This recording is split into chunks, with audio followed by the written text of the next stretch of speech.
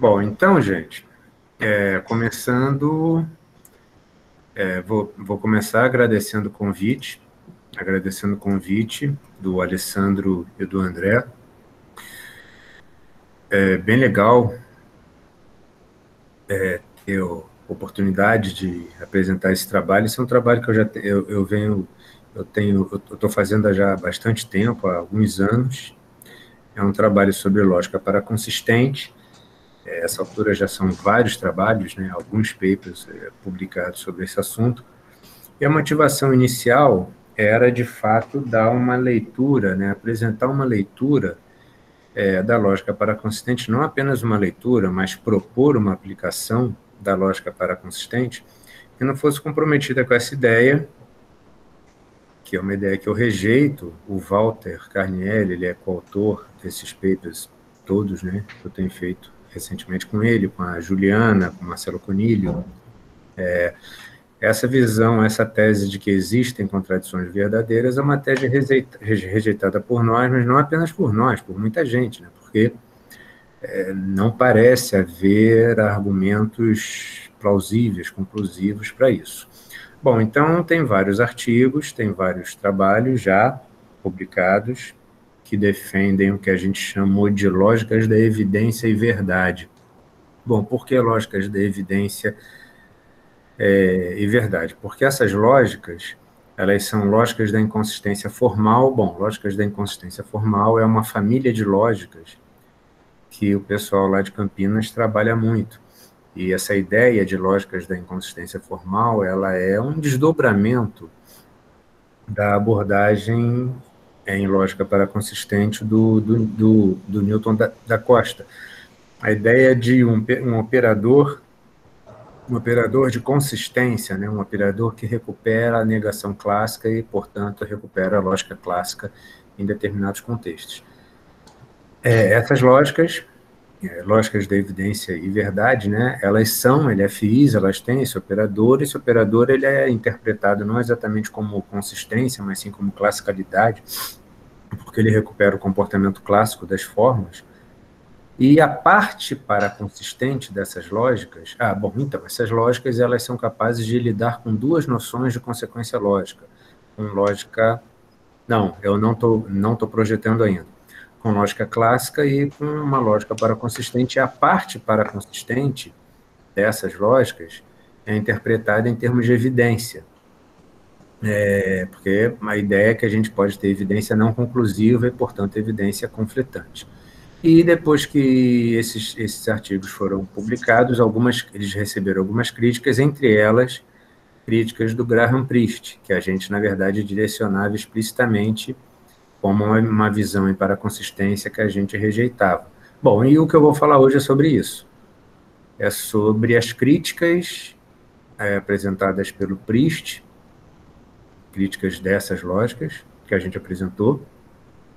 E aí eu vou também apresentar um argumento, uma das coisas que ele fala é que a gente rejeita para a consistência, mas não apresenta argumentos contra para a consistência. É, desculpa, a gente rejeita o dialeteísmo, mas a gente não apresenta argumentos contra o dialeteísmo. Então eu vou apresentar também esses argumentos. Bom, eu já fiz uma introdução, algumas dessas coisas vão ser repetidas no, nos slides, mas eu acho que isso deve tornar a apresentação mais amigável. Bom, então, posso compartilhar, então, a minha tela? Pode. Ah, compartilhar uma janela, vamos ver se vai funcionar direito. Nem sempre isso funciona direito, né? Vamos lá. Bom. Vocês estão vendo os meus slides? Sim, sim. Tudo correto? Funcionou. Tá, funcionou? Tá. Bom, então é melhor continuar nessa o Fox City, até hoje eu não, não, sei como é que eu boto a tela inteira no Fox City, mas assim funciona, tudo bem. Bom, então, o título é esse, é sobre Priest e dialeteísmo, é sobre Priest, sobre dialeteísmo e lógicas da evidência e verdade. Bom, então, eu vou começar fazendo uma pequena, uma pequena ah, tá. O, o, o, a minha fala é, é, tem, tem três partes. Primeiro, eu vou fazer uma apresentação das lógicas da, da evidência e verdade. é, lógicas da evidência e verdade e também do que a gente chamou de epistemic approach, epistemic approach, que para consistency é por que uma abordagem epistêmica? Por causa da noção de evidência, tá? A noção de evidência é explicada com um ingrediente epistêmico. Depois eu vou apresentar os, as críticas que o Priest fez e depois eu vou apresentar e responder as críticas depois é a parte sobre o dialeteísmo. Bom, é, dependendo de como a discussão avançar, eu, eu, talvez eu corte algumas coisas, mas beleza. Bom, então começando com as lógicas. Como eu falei, a gente apresentou esses, é, essa alguns, alguns trabalhos onde a gente apresenta o que a gente chamou de abordagem epistêmica, e os sistemas formais são as lógicas da evidência e verdade. É um paper de 17, do, esse de 2019 acabou sendo publicado em 20 também, tá? da data final dele foi 20. Bom, então esses três papers, né, eles estão disponíveis no ResearchGate, é, e, esses, e, esses, e, e a ideia da, dessa abordagem epistêmica é o seguinte, é, contradições não explosivas, né, por que não explosivas? Contradições que não implicam qualquer coisa, né? O princípio da explosão falha. Elas são interpretadas como evidência conflitante e não conclusiva para um par de proposições. A noção de evidência ela é mais fraca que verdade, no sentido que pode existir evidência disponível para uma proposição, mesmo que, há, não, mesmo que essa proposição não seja verdadeira. As noções de evidência positiva e negativa são independentes. Evidência positiva é evidência para a verdade, evidência negativa é evidência para a falsidade, evidência negativa é representada pela negação, não há, né? Então, se não há vale, né? Se não há, pode ser acerida, se não há vale dentro da, do sistema formal, isso é interpretado como evidência negativa para A, ou seja, evidência para falsidade. E elas são independentes e não complementares. Bom, o que, que significa isso? É, pode ter nenhum, pode, pode, pode acontecer de não ter nenhuma evidência, ou seja, não tem nem evidência positiva, nem evidência negativa. Isso corresponde a um cenário onde não há informação alguma, né? A ideia, estou usando informação em um sentido amplo, né? vago, não técnico, é, mas não se sabe nada, não se tem informação alguma acerca de A, e pode haver outros cenários em que existe evidência conflitante. Bom, o que significa evidência conflitante? Que tem informação que há e a informação que não há. E as LETs são extensões da chamada lógica de quatro valores de Bell-Napidan, que é também que é a lógica do, do first degree entailment, né? A gente costuma chamar de FDE, porque é a abreviação de First Degree Entailment. Mas é a lógica de quatro valores de Bell-Napidan, e justamente esses quatro valores foi justamente quando a, essa lógica foi interpretada em termos de informação, que é um ponto que a gente também, que, que converge, né? essa, essa interpretação informacional da paraconsistência, ela converge com essa ideia de, da interpretação em termos de, de evidência. Bom, e qual, é, qual foi a motivação dessas lógicas, né, das lógicas da evidência e verdade? É que no, no, no raciocínio, nos, nos contextos argumentativos da, da vida cotidiana, né, contextos argumentativos da, da vida real, a gente lida com evidência positiva e negativa, que são essas informações que suportam a verdade e que suportam e que suportam a falsidade. São é, informações indicativas da verdade e da falsidade. E essas informações podem ser conclusivas ou não conclusivas. Essa é a motivação básica pré-teórica. Então, como eu falei, essas lógicas são desdobramentos da, daquela ideia inicial do Newton da Costa. Tem um operador que a gente chama de operador de classicalidade, é, o Newton chamava de operador de bom comportamento. O pessoal de Campinas costumava chamar de, ainda chama, de operador de consistência. Só que nesses contextos é um operador de classicalidade. ele recupera a lógica clássica. Aí, aí qual é o ponto? É, se, se a proposição tem comportamento clássico, então o terceiro excluído vale, a explosão vale, e tem um, tem um resultado técnico também que não, que não, que não vale para todas as LFIs, mas que vale para todas as LETs, que o comportamento clássico se propaga. Quer dizer, se você tiver as partes das proposições com comportamento clássico, é, todas as proposições formadas com os operadores, com os conectivos usuais, ou seja, menos a bola, têm comportamento clássico. Bom, e o, a interpretação pretendida da, do operador de consistência é que a evidência disponível para A, seja ela positiva ou negativa, ela é conclusiva.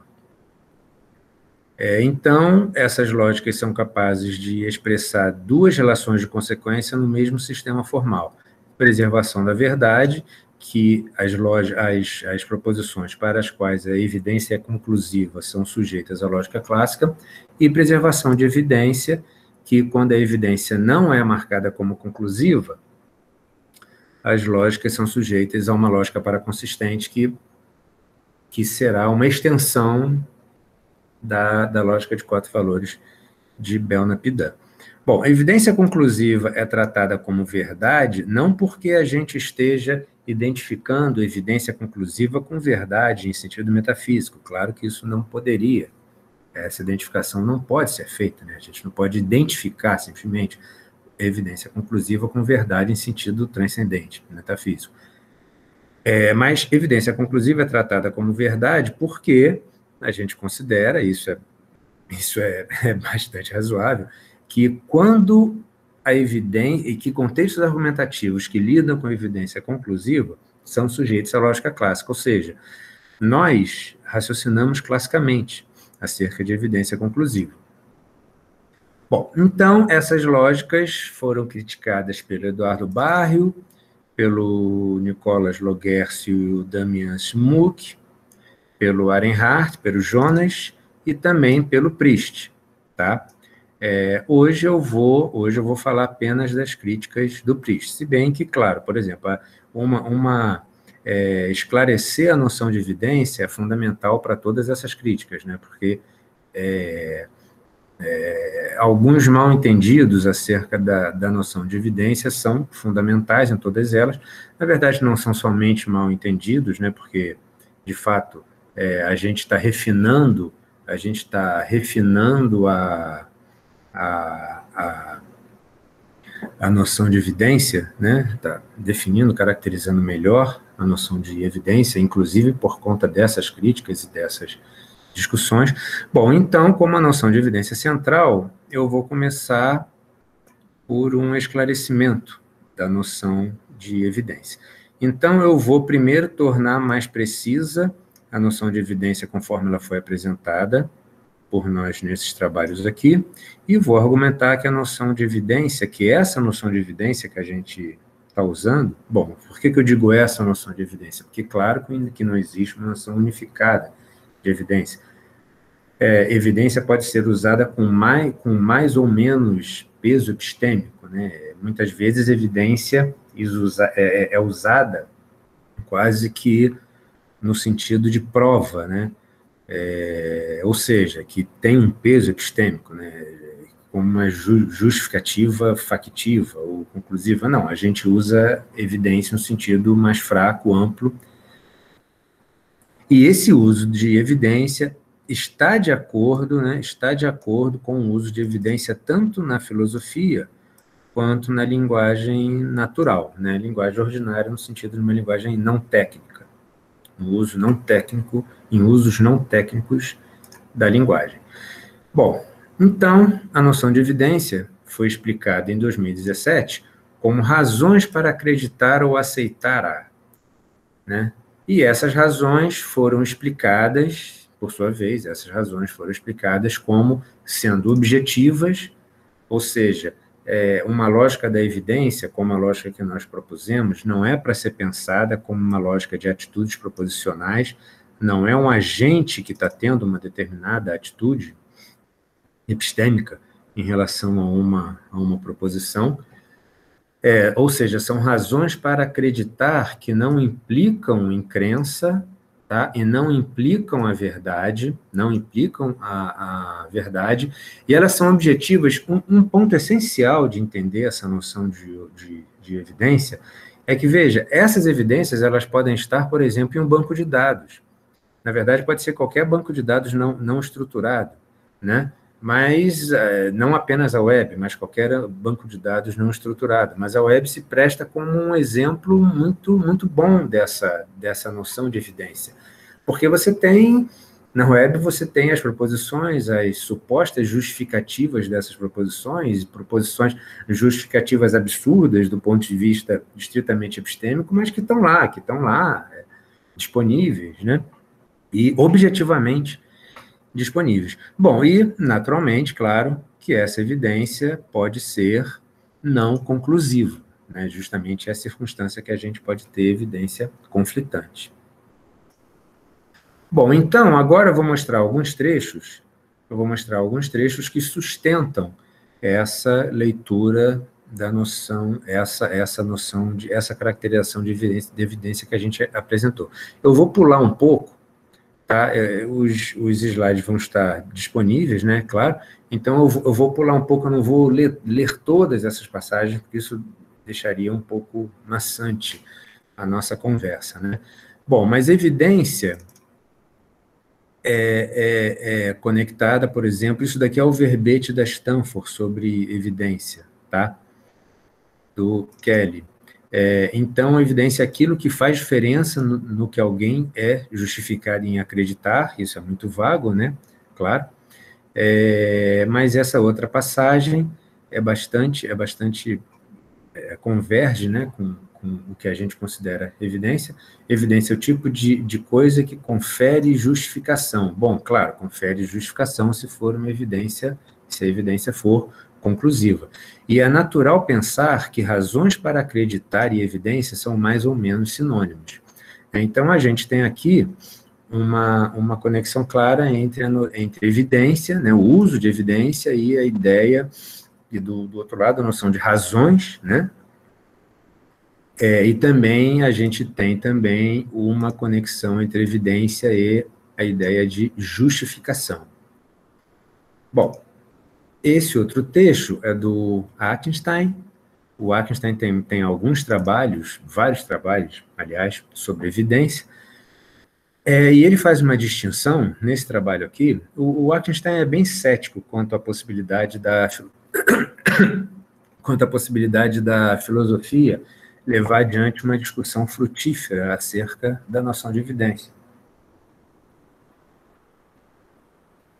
Na verdade, é, e por quê? Bom, eu não vou entrar nessa discussão aqui, porque isso abre um outro ponto, mas é que o que é evidência nesse ou naquele contexto, ou para essa, ou, ou para diferentes áreas da, da investigação científica, é, o, que, o que constitui evidência não pode ser perfeitamente delimitado por um conceito filosófico, né? Essas, essas tentativas da, epistemolo, da, epistemologia, da epistemologia de fornecer conceitos gerais que serviriam para diferentes áreas da investigação científica, definitivamente isso não funciona. Né?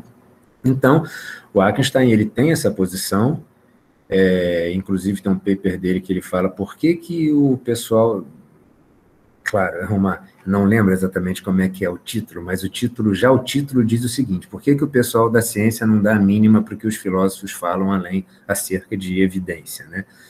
Bom, mas ainda assim ele tem discussões sobre, sobre evidência e ele, e ele apresenta esses dois conceitos de evidência potencial e evidência verídica. Que evidência potencial é justamente aquilo que pode ser evidência, mas que não é conclusivo, ou seja, você pode ter evidência potencial para H, para uma proposição H, mesmo se essa proposição, hipótese H, é falsa.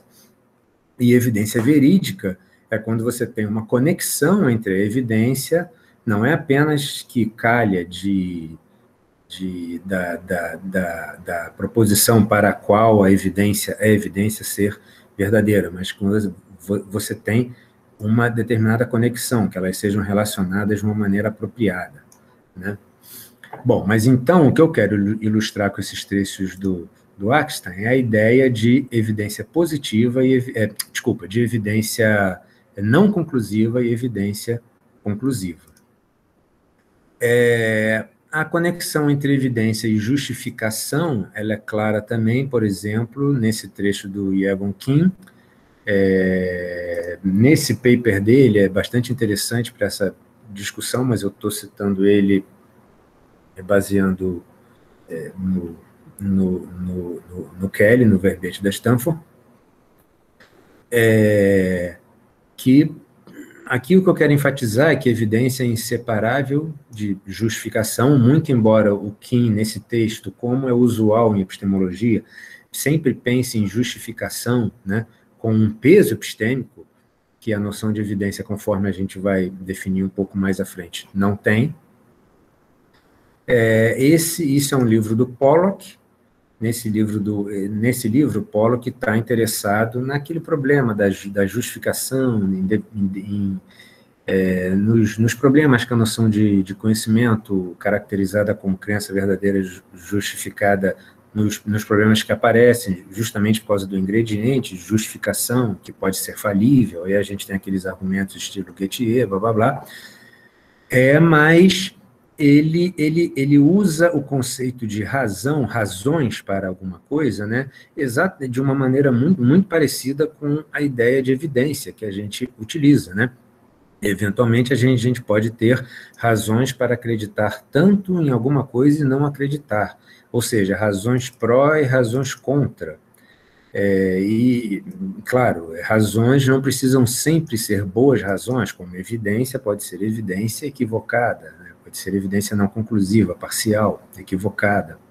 Bom, um outro, um outro argumento, talvez que eu acho até mais eficiente, né, do que mostrar que esse, que o uso de evidência, que, que, que a palavra evidência é usada em filosofia e epistemologia de uma maneira que é, é similar à que a gente usa, é se a gente simplesmente pesquisar como evidência é usada, é efetivamente usada.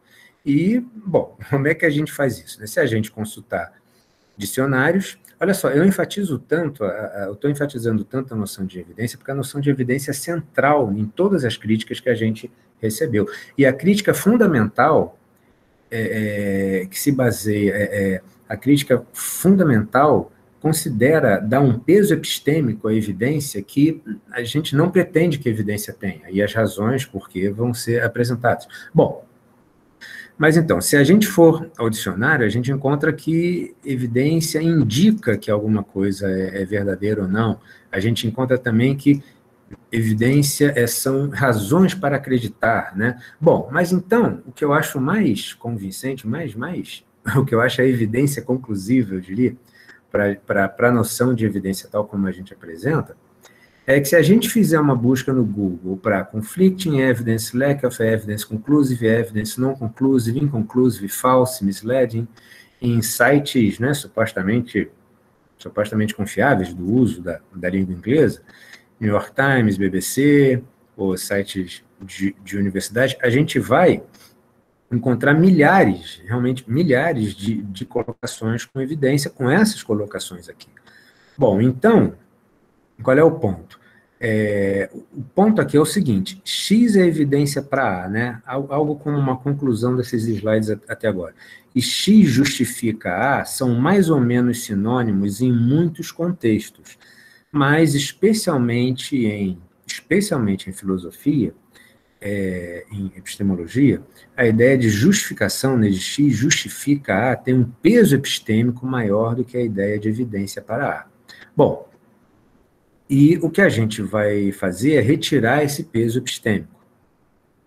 Bom, é, agora eu vou, eu vou, eu vou, faltou a, faltou a, a por alguma razão não saiu aqui, isso daqui é Fetzer também, é Fetzer 2004 também, tá? Bom, o, o, o, o, Dan, o John Michael Dan, ele tem um texto muito interessante que são, são é, mais de um, aliás, é, passagens onde ele fala de informação é, e que ele, ele, ele apresenta a noção de informação partindo da noção de, da, da, definição de conhecimento como crença verdadeira justificada, e ele, ele sugere né, uma, uma noção básica de informação que, na verdade, corresponde à, à, à noção estándar de informação, que é aquilo que, que, a gente, que a gente obtém, aquilo que sobra, quando a gente pega a definição de conhecimento e retira justificação, verdade, crença e quaisquer outros ingredientes, tais como confiabilidade, relacionados à justificação. É, bom, na verdade, isso é o que é chamada é, é, é, definição pra, padrão, padrão, tratamento padrão da noção de informação, que define informação apenas como meaningful data. Bom, Aqui tem uma discussão bastante interessante, mas que não é o caso da gente, da gente é, entrar nela aqui, porque a gente define informação como meaningful data. Bom, meaningful, intuitivamente, a gente sabe o que, que é, só que data é bem mais difícil, né? Da gente definir. É, mas, intuitivamente, a gente, a gente tem uma ideia de, bom, a noção mais básica de, de informação é algum dado, alguma coisa é, a explicação bastante, bastante legal de data é como alguma coisa que faz diferença. Então, bom, se você tem uma gota de sangue no chão, aquilo é uma diferença em, no chão, quando você olha aquela coisa plana, né?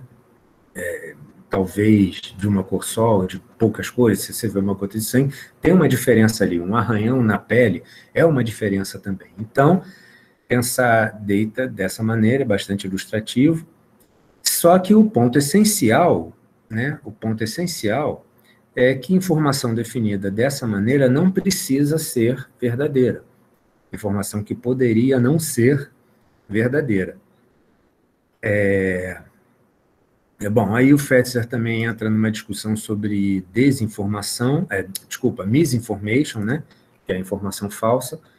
Bom, mas vejam, isso também é bastante interessante a discussão que que o, o Fetzer faz lá, mas também não é um ponto para ser enfatizado aqui. Bom, então veja.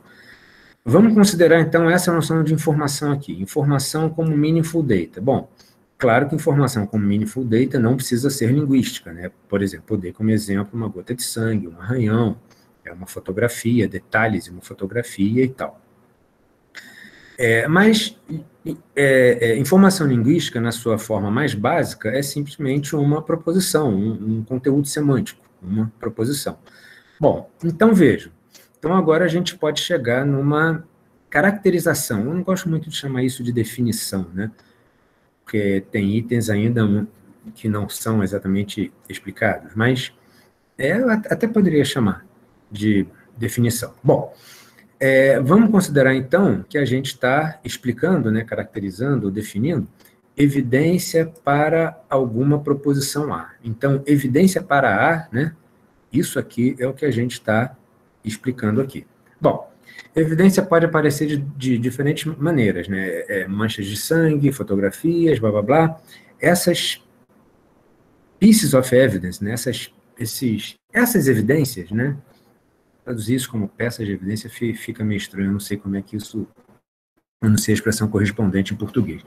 Mas, bom, essas evidências, o que, que elas são? Elas são, elas atuam como justificações, só que são justificações que podem ser falíveis, parciais, erradas, ou podem ser também conclusivas, claro. Né? Evidências podem ser erradas, você pode ter uma evidência para alguma coisa, mas que, na verdade, se a investigação for levada adiante, for bem sucedida, essa evidência acaba não se mostrando como uma evidência conclusiva, ou seja, uma evidência errada, equivocada. Bom, então a gente pode representar evidência para A, evidência para uma proposição A, como um par θ e A, onde θ contém tudo, tudo aquilo que é considerado como evidência, que são justificações para A. É, A é um item linguístico, claro, em teta, o que está em teta pode não, não ser linguístico, e isso daqui é um ponto fundamental dessa caracterização de evidência, que é o seguinte, a relação entre teta e A não é para ser pensada como uma relação de consequência lógica. Na verdade, a relação entre teta e A não é formalizável. Bom, se ela não é formalizável, eu não sei. mas ela não é formalizada, tá? É, porque a relação entre teta e A é, tem um ingrediente, é, é um ingrediente fundamental em como a gente raciocina, em como a gente faz inferências. E nessas inferências que a gente faz, a gente usa lógicas, não apenas uma lógica, a gente usa lógicas, a gente usa indução, a gente usa estatística, a gente usa argumentos abdutivos. Tudo isso faz parte desse contexto amplo de raciocínio que é o que estabelece essa conexão entre um conjunto de evidências e uma proposição A. Quer dizer, do ponto de vista do sistema formal, isso daqui é pensado como uma relação primitiva. É, primitiva do ponto de vista do, do sistema formal, porque o sistema formal não pode falar nada acerca de como se estabelece essa relação de alguma evidência para uma proposição. É, e vejam, onde é que está onde é que está o ingrediente epistêmico? Bom, o ingrediente epistêmico está tá justamente nessa ideia de uma justificação não factiva. Porque o que é uma evidência não conclusiva? Uma evidência não conclusiva é uma justificação não factiva. E o que é uma justificação não factiva? É bom, é, é, é factiva aquilo que é, na verdade, é, é, a, gente encontra as duas coisas, mas é, é, aquilo que implica a verdade do, da proposição que está sendo aplicado, o, o adjetivo, não, não aplicado à, à proposição, mas, por exemplo, uma, uma justificativa factiva que ela implica a verdade, ou então ela está, é, ou então se você atribui o adjetivo factivo implica ou pressupõe a verdade da proposição que está sendo mencionado naquele contexto onde o factivo ocorre. E a ideia é justamente que é justamente que é, evidência não conclusiva é uma justificação não factiva, quer dizer, uma justificação que pode ser não conclusiva, claro, ou, ou errada. Bom, essa noção de non-factive justification, tanto é, a noção não, porque ela, ela é, era, era a ideia proposta no, no início, mas é, a, a terminologia non-factive justification, ela foi tomada emprestada do fitting. Aliás, era exatamente o, o outro paper que eu estava que que aberto antes dos, dos slides aqui, né? Ela foi sugerida pelo fitting justamente quando ele apresentou uma justification logics para non-factive justifications. E ele fez isso a partir de um mergulho da lógica que a gente apresentou em 2017, que a gente chamou é, Basic Logic of, of, of Evidence, BLE. A, a gente apresentou essa lógica em, em 2017. Na verdade, essa lógica é a lógica N4, interpretada em termos de evidência, ela é lógica N4, interpretada em termos de, de evidência, mas o ponto era justamente interpretar essa lógica em termos de evidência, o ponto do fitting, né, era justamente baseado nessa interpretação de BLE em termos de evidência, apresentar uma, uma justification logic, que é a lógica JX4, que essa lógica JX4, ela formaliza precisamente ela, formaliza, ela é uma ferramenta para formalizar essa ideia de justificações não factivas. Bom, beleza. E isso, claro, isso é mais, até onde eu posso ver, isso, isso é mais uma evidência né, da adequação dessa noção de evidência que a gente propôs. Bom, é, um exemplo, eu já estou falando há meia hora, né, quase, um exemplo dessa, de, um exemplo disso dessa noção de evidência conflitante e de justificativas objetivas que estão disponíveis, mesmo sem crença ou sem verdade e tal, é, é, o negacionismo científico, como também o fenômeno da, da desinformação, né, sem dúvida, mas o negacionismo, até onde eu ver, fornece um exemplo, ao menos para aqui, é, para cá, é, é, é mais claro, é, se a gente faz uma busca, por exemplo, na web, se a Terra é plana ou não, a gente acha ambas as visões e a gente acha ambas as visões com um, um número de, de justificações. E veja, a gente encontra até justificações talvez mais que mais, mais interessantes, né? É, tem experimentos, os caras propõem experimentos para provar que a Terra é plana. Claro, a Terra é plana é um exemplo é, absurdo demais. Eu sempre acho que os caras, os terraplanistas, estão tão de, de, é, tão de onda, estão querendo fazer confusão, estão querendo é, misturar o contexto de tal maneira para ficar mais fácil, né? A fala lá dos negacionistas dos antivacina, do pessoal antivacina, do pessoal do da, do que nega o aquecimento global, blá blá blá, né? Mas, de qualquer modo, o ponto é o seguinte: as justificativas estão lá. Você tem a justificativa que a Terra é plana, a justificativa está lá. Né? E muito embora esse seja um exemplo absurdo, ele ilustra o tipo de coisa que está sendo formalizado por essa ideia de non-factive evidence, de non-factive justification. E, claro, tem outros casos muito piores, né? Tem o caso do que o, que o HIV não causa AIDS, né? Isso pode parecer absurdo, mas há menos de 20 anos isso estava matando gente, na, matando um monte de gente na África do Sul, porque a política de Estado era considerar que o HIV não causa AIDS, então esses tratamentos pro, pro esses tratamentos que inibem o HIV foram suspensos, né? A gente encontra isso na, na internet, é o, o, o movimento antivacina, né? nessas coisas todas que a gente está cansado de ver por aí e de ficar. Bom, beleza. É, então, o que, é que acontece? As justificações para essas proposições, elas estão lá, objetivamente disponíveis, e muitas vezes sem mesmo identificar aquele que tornou essas justificações disponíveis. Né? Então, esse tipo de contexto esse tipo de contexto, né, a gente tem essas justificações que não tem, que a gente não pode olhar para elas com, com peso epistêmico, que normalmente é dado, é pressuposto pelas discussões em epistemologia, é esse tipo de coisa que é que essas lógicas estão formalizando. Bom, bom, então, olha só, eu já vi, gente, eu já vi que é, é, eu já vi que não vai dar, eu, eu, eu, não quero extrapolar muito tempo, então eu vou fazer o seguinte: eu não vou apresentar os argumentos, eu não vou apresentar os argumentos contra o dialeteísmo, tá? Eu vou apenas apresentar as críticas que o Priest fez e responder essas críticas. Bom, então, ué, cadê os meus slides? Vem cá, vocês continuam vendo os meus slides, né? Sim, Abelho. Estava é, vendo sim. É, só que agora eu que não vejo. Ai. Vamos ver se agora funciona. Ih, rapaz, o que, que aconteceu aqui que eu não vejo meus slides? Bom.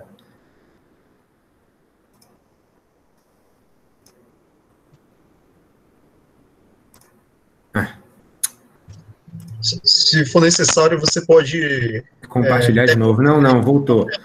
Não, não, voltou. voltou. Bom, Agora vocês veem, certo? Vocês veem e eu, e eu vejo também, confere? Estamos vendo. Tá, beleza. Bom, então o Priest fez, apresentou quatro objeções em um, um, texto de 2019. Primeiro, ele falou que a interpretação em termos de, de evidência simplesmente não é bem sucedida. Ele falou que a gente atribui a ele visões em paraconsistência que ele não tem, em especial a, a, a afirmação que existem é, contradições ontológicas ou contradições na realidade, que o dialeteísmo não é comprometido com qualquer visão em particular da verdade, que o dialeteísmo é neutro em relação à noção de verdade, e que a gente rejeita o dialeteísmo, mas não, mas não discute os argumentos, não, não tenta rejeitar os argumentos apresentados em defesa do dialeteísmo. Bom, essa última aqui, essa última aqui, eu não vou falar sobre, tá? Por conta do, do tempo, são os argumentos contra o dialeteísmo. Eu só vou responder as críticas acerca, talvez eu até corte alguma coisa mais, responder as críticas acerca da noção de evidência e falar um pouco, isso já é uma crítica ao, ao né?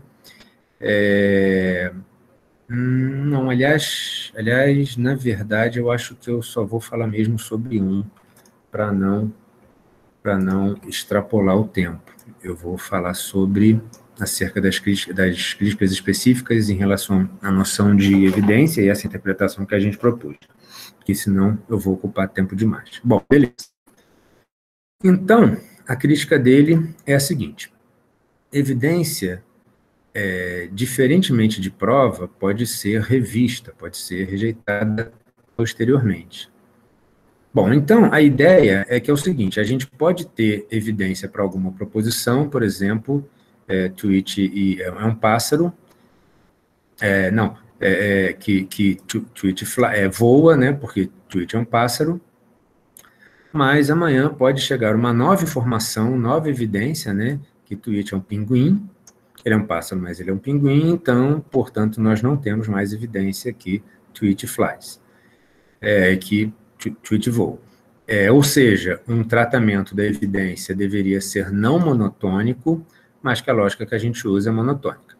Outra crítica é que a lógica valida a adjunção, quer dizer, introdução da, da negação, é, introdução da conjunção, mas que é, existem situações em que existe evidência para A e existe evidência para não A, mas que isso não é evidência para a conjunção A e não A.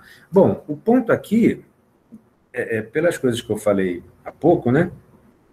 É, é, é, o ponto da, da resposta talvez esteja já mais ou menos claro, que é o seguinte: não existe um peso epistêmico, peso epistêmico nessa ideia de evidência, tá? Então, a evidência para A e não A é simplesmente uma justificativa que justificaria ambas. É óbvio que essa justificativa não pode ser conclusiva. E se você tem justificativa para A e justificativa para não A, óbvio que essa, essas justificativas não podem ser ambas corretas, é óbvio. E o que, que a gente sabe? O que a gente sabe é que tem alguma coisa errada. Então, se você tem justificativa conflitante, opa, tem alguma coisa errada, você tem que, que investigar mais. E, justamente, como um resultado disso, né, na verdade, a objeção 3 é, é, é diretamente relacionada a 2, que, por conseguinte, né, é, é, é, essa nossa interpretação em termos de evidência seria vulnerável ao paradoxo do prefácio. Bom, então, são três, são três objeções, são essas três objeções aqui, é, a lógica, uma lógica da evidência não deveria ser monotônica, não deveria ser adjuntiva e é vulnerável ao paradoxo do prefácio. Bom, então, primeiro, eu vou, eu vou rejeitar a primeira, né, a que fala que uma lógica da evidência deveria ser não monotônica. Bom, vamos, vamos considerar três contextos aqui. A gente, a gente tem um primeiro contexto, né, eu estou chamando de... É, imagina isso como circunstâncias, é, como diferentes momentos no tempo. A gente tem um T1, onde a gente tem essas proposições, tweet é um pássaro, pássaros voam, logo tweet voa. Aí, na, na circunstância T2, na circunstância T2, entrou uma nova informação, né? Que tweet é um pinguim. Bom, se tweet é um pinguim, bom, pinguim não, não, pinguins não voam. Então, o que, que aconteceu aqui? A gente tem aqui uma contradição. A gente tem que tweet, fla, é, tweet voa e tweet não voa. Bom, o que, que vai acontecer? Em um terceiro momento, por conta de mais investigações né, e tal, é, é, se, se, se, constata que essa, que essa proposição aqui, é, é, é que tweet voa, né, é, e, e, também que pássaros voam, bom, porque não é o caso, pássaros voam, significa que todo pássaro voa essas, essas informações aqui, essas proposições são revistas e saem do conjunto de proposições. Bom, o que, que aconteceu aqui? O que aconteceu aqui foi, foi, foi um processo de belief revision, foi um, profe, foi um processo de revisão de crenças. O processo de revisão de crenças é não monotônico, o processo todo, porque você tem uma inferência que está valendo, aí é acrescentada nova informação, aí aquilo é ajustado, o processo todo é não monotônico. Mas se a gente olha para a lógica subjacente a cada estágio do processo, essa lógica não precisa ser não monotônica. E a ideia da, da, e a ideia da lógica BLE é, é, é o fragmento, né, da lógica da evidência e verdade que expressa apenas propagação, é, é, é, é, preservação de evidência, a, a, ideia é que BLE vai representar contextos como esse contexto aqui, o T2. É como se a BLE fosse adequada para tirar uma fotografia. É, ela é apenas a lógica subjacente a T2. A lógica subjacente a T1 é a lógica clássica. Bom, por que, que a lógica subjacente a T1 é clássica? Porque a gente, quando a evidência é considerada, né, conclusiva, na verdade, isso aqui não é um bom exemplo. É o mesmo, é, é que isso responde ao, ao objeção que, que o Priest fez, porque é, no paper de 2020, né, aquele que está com a data 2019, mas foi publicado em 2020, a gente apresenta um exemplo com, com o surgimento da, da, da, da teoria da relatividade. Que qual é o ponto?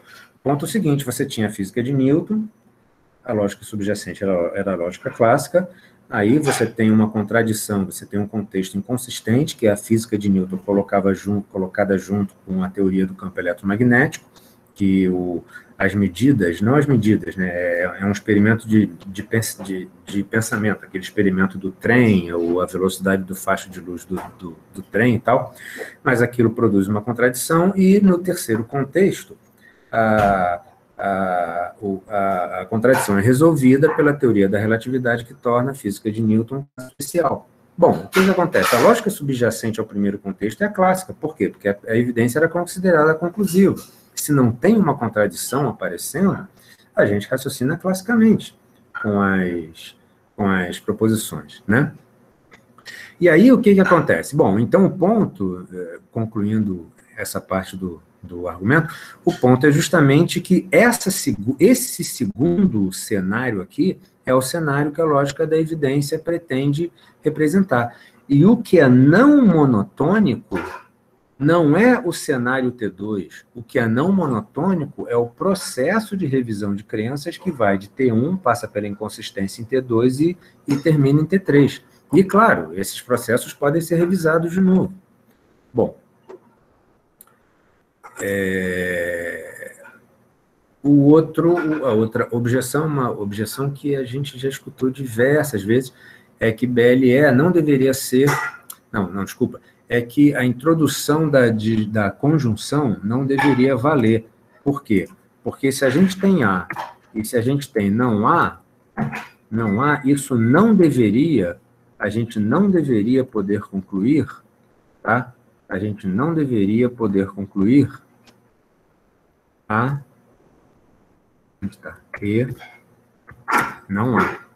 Tá? Isso, isso é um argumento que aparece frequentemente. Bom, mas a resposta para isso é o seguinte: é que é, é, é, é a lógica da evidência, uma lógica da evidência, conforme proposta por nós, ela não é uma lógica de atitudes proposicionais. Então, não é que um agente esteja aceitando racionalmente alguma coisa como evidência para uma proposição A a ideia é que a evidência está simplesmente lá, disponível, né?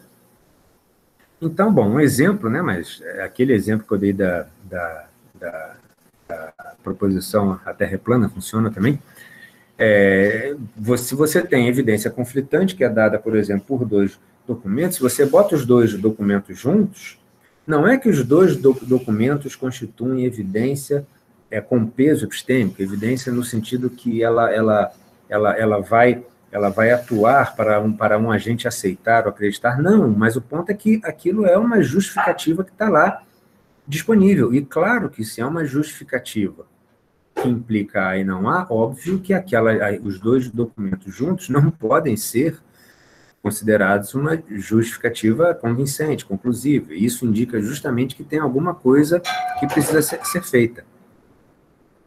É, e vejam, a, a lógica de quatro valores do Bell-Napidan, ela também funciona dessa forma, tá? Ela também funciona dessa forma, interpretada em termos de informação. Se você tem a informação A e a informação não A, você tem a informação A e não A. É, bom, qual é a diferença? A diferença é que a lógica, a, a FDE, né, a lógica de, de de quatro valores do, do Bell-Napidan, ela pode ser interpretada com mais ou menos peso epistêmico. Ela pode ser interpretada também, claro, ela é também, ela pode ser interpretada em termos de evidência não conclusiva também. A questão é só, por exemplo, aquela, aquela caracterização de evidência que eu dei acima, é, que é um par, né, um conjunto teta de evidências e uma proposição A, se aquele conjunto teta for vazio, a gente tem simplesmente a, a proposição A, é, é, é aquela ideia mais básica de, de proposição.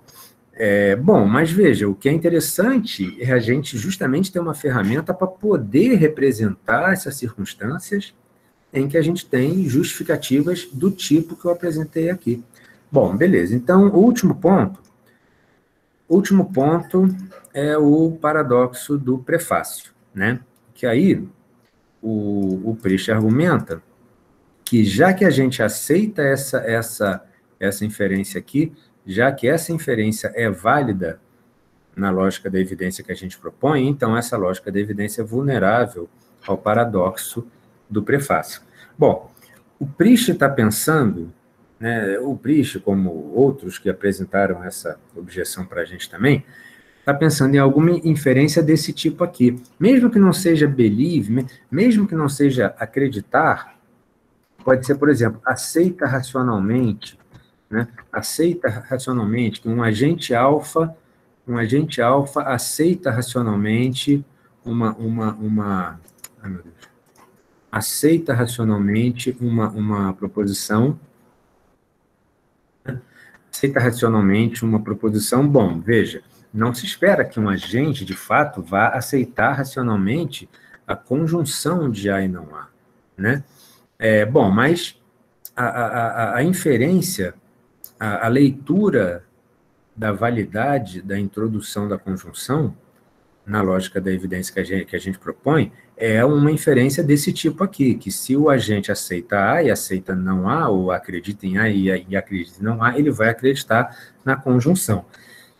E o, o paradoxo do, do, prefácio é justamente, ele, ele, ele surge quando a gente é, é, é, conclui que de acreditar, veja, é, qual é o ponto, né? É, bom, o, o sujeito escreveu o livro e cada uma das proposições do livro ele acredita, pois afinal ele escreveu, né, tal. Mas ele acredita também, mas ele acredita também que algum, que é muito provável, né, o razoável, é que ele tenha cometido algum erro e pelo menos alguma proposição do livro que o sujeito escreveu não seja o caso. Então, ele acredita em cada uma separadamente, mas não acredita na negação da conjunção de todas as proposições do, do livro, né? Isso é o que o, o prefácio diz. Bom, mas isso não pode implicar na conjunção dessas todas, nessas coisas todas aqui, ou seja, é, que esse agente alfa acredita naquela conjunção e na negação daquela conjunção. O paradoxo do, do prefácio é isso aqui. Ou seja, ele pode acreditar em cada uma separadamente e acreditar que a conjunção delas não é o caso, mas ele não pode acreditar nessa conjunção aqui. Mas, vejam, não é essa, não é esse o modo pelo qual a introdução da conjunção deve ser interpretada nas lógicas da evidência conforme propostas por nós. Por quê? Porque a ideia justamente é que você não tem uma atitude proposicional. Quando você tem o A, isso não é um agente acreditando, um agente aceitando. É simplesmente a inferência lá, a inferência, a evidência lá disponível, disponível, é, é, é, objetivamente disponível. Bom, gente, então eu vou parar para não extrapolar muito tempo, tá? É, o que ficou faltando foi a, a, terceira parte, que ao responder às objeções do Priest, que a gente, a gente não, não, não entrou em um debate com o dialeteísmo e tal, aí é feita uma crítica ao dialetismo do, do peixe, mas essa parte, então, eu vou pular para não para não para não é, para não extrapolar o tempo. É, opa, então eu pulo aqui para o final, tá? Para o final, Obrigado a todos pela paciência, pelo convite, etc. E, bom, tem muitas referências, né? Porque eu tive que usar muitas referências em cima. Então, é, a melhor alternativa mesmo é deixar o, os slides disponíveis para quem quiser olhar com mais atenção as referências que foram mencionadas aqui. Eu passei devagarzinho aqui, mas é, certamente não é o suficiente para olhar isso com calma. Tá ok, gente? Então é isso. Muito obrigado.